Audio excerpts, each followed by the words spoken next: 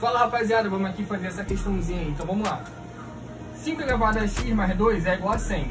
Como a gente pode escrever isso? A gente pode botar 5 elevado a x vezes 5 elevado a 2 é igual a 100. Por quê? Quando é a mesma base, a gente repete a base e soma os expoentes. Então tá valendo.